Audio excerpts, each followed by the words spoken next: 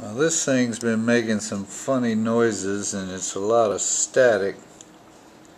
So I thought I was going to just take it apart and fix it. Let's see. But that's not going to happen, I don't think. I've never seen such microscopic resistors and look, that's the foot switch and look at these little resistors. Or I didn't know they made resistors that small. So this is the mini fuzz face. And I'm seriously wondering how this thing even works.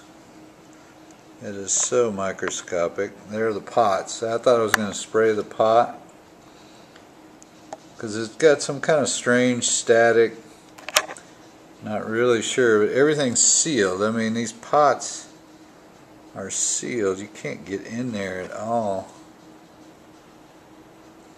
So, I mean, here's the DC jack, which I thought it might be the DC jack causing a ground problem. These are the input and outputs jacks, but uh, you know, I just played it on battery and I still got the same static. Where it seems to be coming from is the volume pot. It's you know I can turn it and it'll cause the static and then it goes away. And there is really no way of getting any kind of contact cleaner in there unless I were to try to take the thing apart. But I just thought you would be interested to see all these teeny weeny components.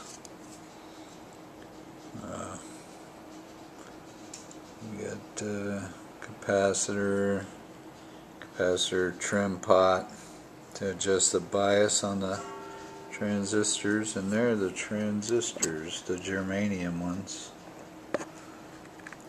What are they? Not sure what kind I use.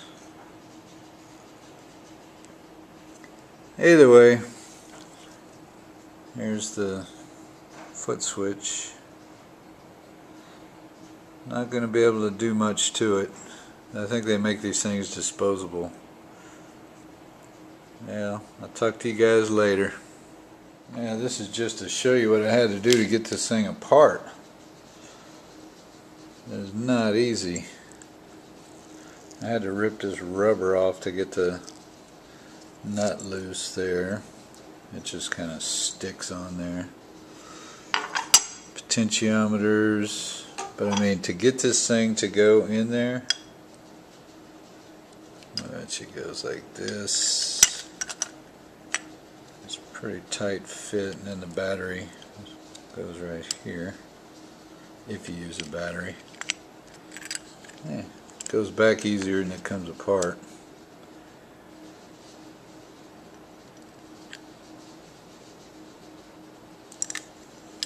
Fuzz face. Mini. Talk to you later.